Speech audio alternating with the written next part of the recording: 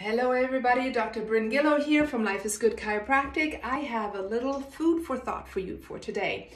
Have you heard the expression of somebody feeling up or feeling down? Well, I'm going to tell you that that has a lot to do with your body physiology as way as well. The way you stand, the way you hold yourself, the way you carry yourself.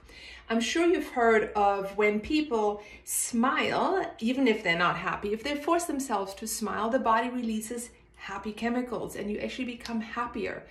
And that is the same thing with our body because obviously that's including a lot more muscles creating this state. So when somebody is feeling down, what kind of body position do you picture them to be in?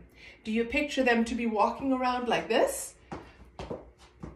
Or is this more the position? You know, head down, slumped shoulders, all of that. That's what we would assume from somebody that's feeling down, right? And in reverse, if somebody is feeling up and somebody is feeling happy, they have more of a posture like this. They're not like this. Oh, I'm feeling so up. I'm so happy. You know, that doesn't happen. So please know that the way you move your body and carry your body will affect your mood as well and the way you feel emotionally.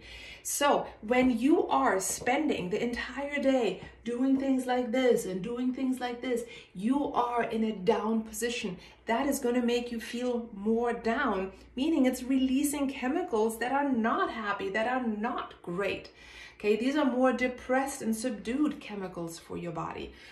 If you want to feel more up, guess what? Put your position in an upright position. Make sure you walk upright. Make sure your head is in a good position. Not over here, but over here. When you carry yourself up, your mood will go up as well because your body is responding to that physiological change of coming from here to here.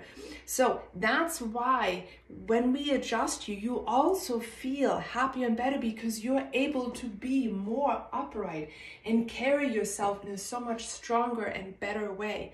So make sure you get your adjustments. Make sure you carry your body in, in an up way fashion so that you can feel up instead of feeling down. All right. Hope you enjoyed that and I'll see you next time.